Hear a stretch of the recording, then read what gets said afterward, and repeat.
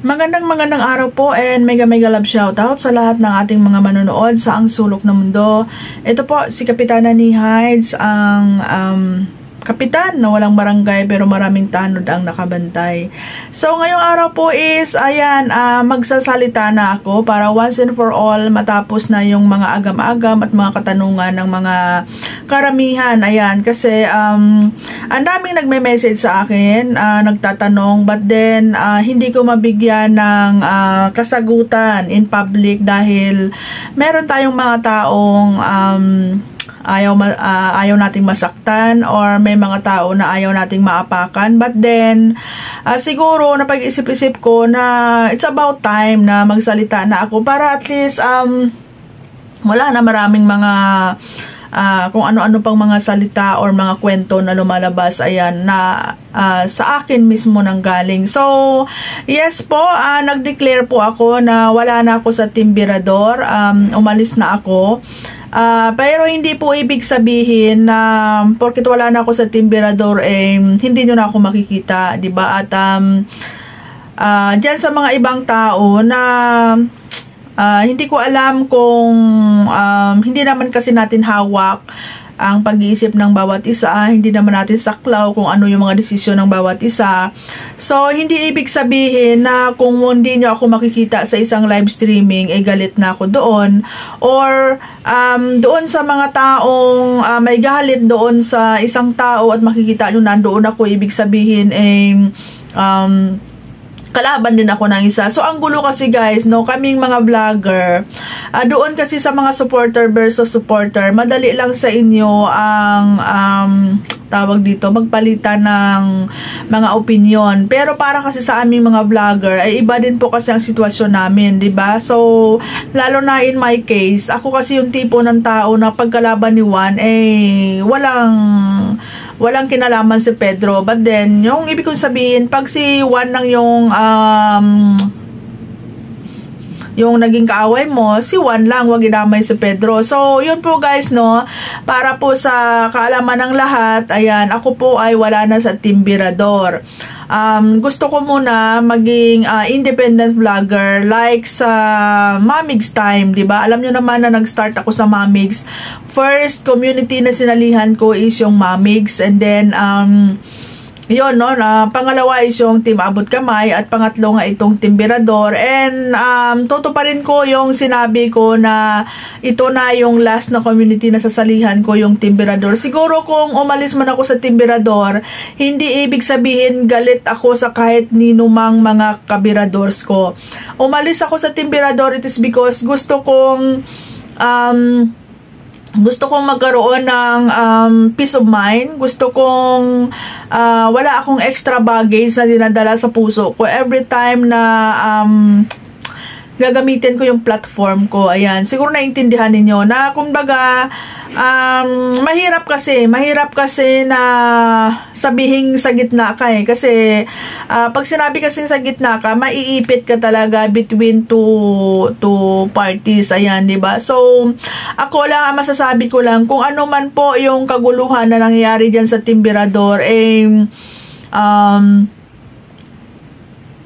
problema, problema ng bawat isa yan, 'di ba? Kumbaga, wala naman akong involvement. Wala akong involvement, but then uh, feeling ko kasi parang naiipit ako kasi syempre uh, hindi pwedeng papanig ako sa isa, hindi pa pwedeng papanig ako sa isa, o hindi pwedeng mananatili akong sa gitna kasi maiipit na rin ako. So much better, sabi ko, eh naranasan ko naman na maging independent vlogger which is the Mamix time nga.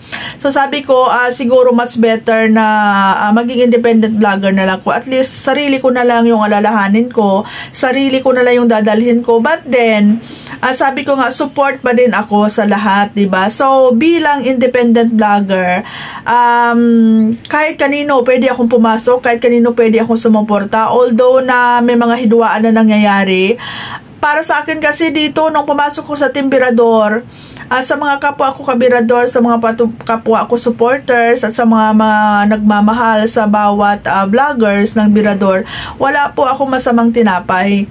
'Di ba? Ako yung taong marunong akong rumespeto, marunong akong uh, makinig sa mga um, tawag dito sa mga uh, hinanaing ng bawat isa and as much as possible kung meron akong maibigay ng mga advices or pagpapaliwanag, uh, ginagawa ko naman. But then, hindi ko nasaklaw kung ano man yung mga naging desisyon ng bawat isa. So ngayon, kung meron mang mga hindi magagandang nangyayari, merong mga hidwaan, eh, between doon sa mga tao lang na involved, 'di ba? So para sa akin, uh, wala akong masamang tinapay sa bawat isa. Anywhere, anytime, pwede akong uh, sumuporta at um, gumala-gala sa mga live streaming. So ngayon, um, doon naman sa mga kapwa ko vloggers, sa kapwa ko mga supporters, lawakan natin yung isip natin na um, hindi porket kalaban mo maging kalaban na rin ni Kapitana, hindi kala hindi porket kalaban ni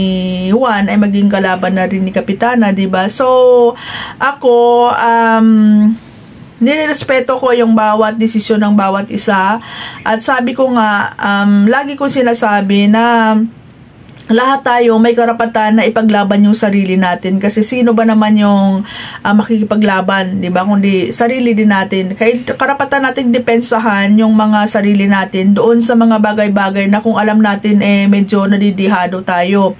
Pero sabi ko nga eh um go. Kung alam ninyong nasa tama kayo, kung alam ninyong um, tamag nyo, kung alam ninyong nadihado kayo, ipaglaban nyo, karapatan nyo yan. But then, um, laban nyo yan, di ba? Laban nyo yan.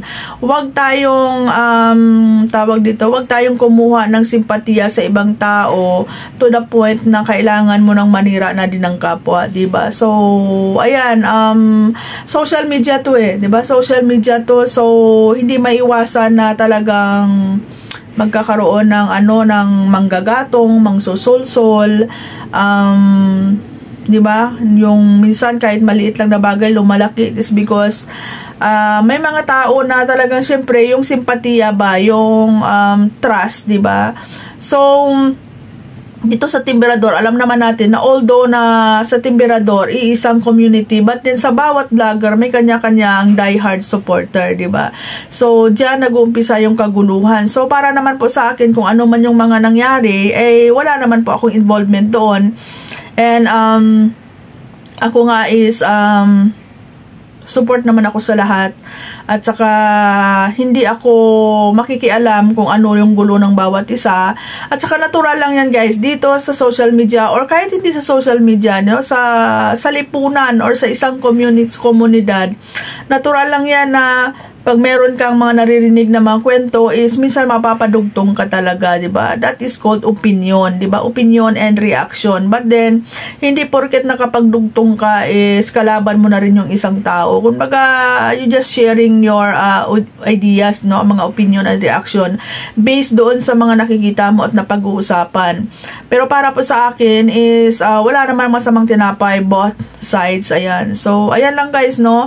Kumbaga ayoko lang, ayoko lang lang nung mga nangyayari. Ayoko lang nung uh, hindi ko kasi na-picture out na ganito yung magiging resulta, ba? But then uh, natural lang 'yan. Actually, guys, ang gulo is not between vlogger to vlogger, kundi supporter to supporter, which is very normal. Very normal 'yan kasi nga eh sabi ko nga sa inyo, bawat isa merong hinahangaan at siyempre bilang supporter, ipaglalaban nila yung hinahangaan nila. So diyan nangyayari yung gulo. And yung gulo na 'yan, that's part of ano, that's part of um tawag dito, that's part of um growing up ng isang um, community or ng isang hinahangaan ninyo. Kasi kung wala yung mga supporters, hindi nag-iingay yung mga supporters, hindi rin man, naman kasi makikilala yung mga hinahangaan nila. Do, so that's one way of um, tawag dito, yung nagpapaangat ba sa mga iniidolo nila. So, ayan guys, no, um, ang haba na explanation ko, pero all in all, ang masasabi ko lang, um, wala ang masamang tinapay sa akin kahit kanino, and bilang isang independent vlogger, pwede akong pumasok kahit kanino, pwede akong sumuporta kahit kanino, and sana hindi lawakan natin yung pag-iisip natin na hindi ibig sabihin kung kalaban mo at nakita mo ako doon, eh maging kalaban mo na rin ako. Pero, siyempre, hindi ko nahawak yung mga pag-iisip ninyo, kung yan yung magiging, um, tawag kung yan yung, yan yung magiging pananaw ninyo, wala tayong magagawa dyan, di ba? Kasi syempre, we are living in the democratic form of government, di ba? So, demokrasya dito, di ba? As long as wala ka namang nilalabag sa karapatan pang tao, di ba? So, go ahead, ipaglaban mo yung sarili mo, karapatan mo yan. And, um, Ayan lang guys, no, sana um, lawakan natin yung pag-iisip natin at sana um, andyan pa rin naman yung respeto kahit papaano sana. Ako nalulungkot ako personally kung ano yung mga nangyayari ngayon kasi hindi ko expected na aabot sa mga ganyan. Yung mga hindi magagandang salita is talagang parang wala na tayong ano eh, 'di ba? Wala na tayong limitation minsan sa sarili natin kung ano na lang yung masasabi natin. 'di ba? So uh, wala akong pino-point out dito kung sino but then sana uh, 'di ba uh, sa mga medyo may edad-edad na sana magiging uh, modelo tayo, 'di ba? Doon sa mga nakakabata. At doon naman sa mga nakakabata, sana matuto din tayong um, sabihin natin ilagay sa lugar yung um, minsan yung mga pananalita natin kasi kahit papaano eh 'di ba yung mga matatanda minsan eh 'di ba um nirerespeto din pero depende sa sitwasyon kung ikaw naman yung matanda ang hindi nagpare-respeto, 'di ba? So paano ka respetuhin ng ng uh, mga bata, 'di ba? So ayan lang guys, no? Uh, dapat marunong tayong uh, mag-analyze kung hanggang saan lang yung uh, pwede nating sabihin, 'di ba? Kasi although na sa may demokrasya tayong sabihin kung ano yung mga pwede natin sabihin, eh sa batas pantao po at sa batas ng Diyos eh may mga bagay po na bawal at hindi pwede, 'di ba? So ayan lang no um wala akong ano wala akong uh, sama ng loob kahit kanino although na may mga disappointment akong nararamdaman pero pag sinabing galit talaga wala akong galit kahit kanino man. And then um as much as possible gusto ko uh, suportahan lahat ba? So kung may hindi naman ako nakikita sa isang mga live streaming eh syempre OFW tayo. And minsan mayroon talaga akong mainiiwasan na mga pangyayari or mga pananalita. That's why pag minsan pag mayroon ako nakita na medyo hindi na uh, tanggap ng um, ng ano ko, nang hindi natanggap ng uh, tawag dito, ng analyzation ko, hindi natanggap ng mga naririnig ko, eh, hindi na ako nagagandahan sa mga naririnig ko, eh, umiiwas na ako. Kasi para sa akin, eh, much better na um, keep your mouth shut less talk, less mistake, para hindi ka makasakit ng kapwa mo. At doon naman sa mga tao na pinagkakatiwalaan kayo, 'di ba? Eh you earn you earn that trust 'di ba? So, kung may mga bagay-bagay na hindi na natin dapat sabihin pa or hindi na natin dapat i-relay pa sa ibang tao, 'di ba? Make it private or um wag na nating ipagkalat, 'di ba? Kung alam mo naman na medyo hindi maganda yung magiging resulta, kung alam mo naman na nakakasakit din yung sa kapwa natin, at kung alam mo naman na mas lalong makakagulo, eh wag na, 'di ba? Matuto tayong matuto tayong mag ano, mag um, tago ng mga sikreto kasi once na pinagkatiwalaan ka, sinabihan ka ng sikreto, ibig sabihin eh pinili ka, 'di ba? May tiwala sa iyo yung tao. So, ayan guys, no, hindi porket galit ka, he burst out mo na lang lahat, 'di ba? Minsan ilagay din natin sa lugar kung ano yung mga pwede at mga hindi pwede, 'di ba? So, nakakalungkot lang isipin, 'di ba? Ako bilang isang vlogger, siguro sa mahigit dalawang taon ko dito sa social media, um, wala akong hinangad kundi uh, makapag-share kung ano yung mga nalalaman ko uh, makapagpasaya ng tao. And then, um, as much as possible is ma-share ko sa inyo kung ano yung mga um, tawag dito, yung mga pwede kong i-react or pwede kong uh, i-correct.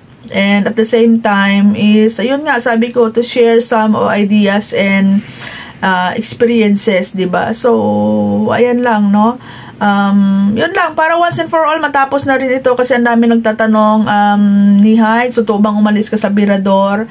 Um, ayan, hindi ko masagot-sagot ng diretso kasi yung iba, alam ko yung ibang mga supporters is um, nalulungkot.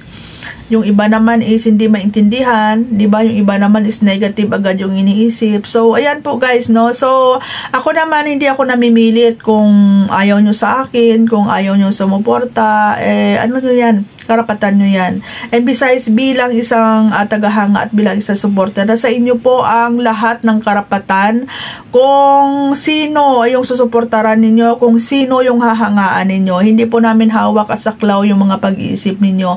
Pero ako bilang isang vlogger, eh, sobrang thankful ako dun sa mga taong nagtitiwala at nagmamahal. And uh, very thankful ako doon sa mga support na binibigay ninyo kasi ako bilang isang vlogger, naniniwala ako na kung wala kayo, wala din po ang bawat career namin, ang bawat channel namin. Sa inyo po nakasalalay ang channel at career ng isang uh, YouTuber or ng isang vlogger. So, sobrang thankful po ako. Sobrang thankful ako sa inyong lahat na nagtitiwala at nagmamahal po sa akin. So, ayan po, no? Um, wala ako sa Timberador. Umalis ako sa Timberador. But then, andyan pa din naman ang support ko sa bawat isa kung sino yung um, masusuportaran ko pag may time lang ako, 'di ba? So, ayan guys, no, um, wala masamang tinapay sa akin kahit kanino. Kahit doon sa mga taong merong mga issue sa bawat isa, wala akong kinakampihan, wala akong masamang tinapay kung sino yung nakakausap ko. Ayan, um, kung meron akong maisishare na mga advices, ginagawa ko um, sa inyo na yan kung maniwala kayo or hindi or tanggapin ninyo. But then, gusto ko masaya lang, gusto ko happy-happy lang, gusto ko um, reunited ang lahat, 'di ba? So, ayan guys, no, bilang uh, defender, bilang reactionist, at bilang content creator, ayan, andito pa rin po si Kapitina, Kapitana ni Hais na patuloy. Patuloy kung ano yung naumpisahan, ayan, kung ano yung uh, pinaglalaban. And, ayan po guys, respeto. Yung respeto at pagmamahal ko andyan pa rin sa inyo. Ayan, so, maraming maraming salamat and I hope um, Naklaro ko na sa lahat. Ayan. And nasagot ko na yung mga uh, nagtatanong sa akin. Ayan. So, ngayon, kung may mga medyan, may mga disappointed yan dahil umalis ako sa Mirador, uh, pasensya na po. And ibinibigay ko sa inyo yung buong karapatan na magdesisyon at um, ayan, kung uh, depende po sa inyo, 'di ba? Kasi sabi ko nga sa inyo eh dito bilang isang tagahanga at saka supporter, na sa inyo po ang lahat ng karapatan para magdesisyon kung saan po kayo masaya at kung ano po yung um, makakagaan para sa inyo kung saan po kayo nag enjoy So maraming maraming salamat po uh, hanggang sa muli. Ayan, andito pa rin naman si Kapitana Nihays na magbibigay ng mga um, information, dissemination, and magsishare ng mga ideas. And of course, um, andito pa rin naman para magbigay ng kasiyahan sa inyo kahit papaano. Maraming maraming salamat po. God bless everyone. And peace para po sa lahat. Ayan. I love you all. Bye-bye.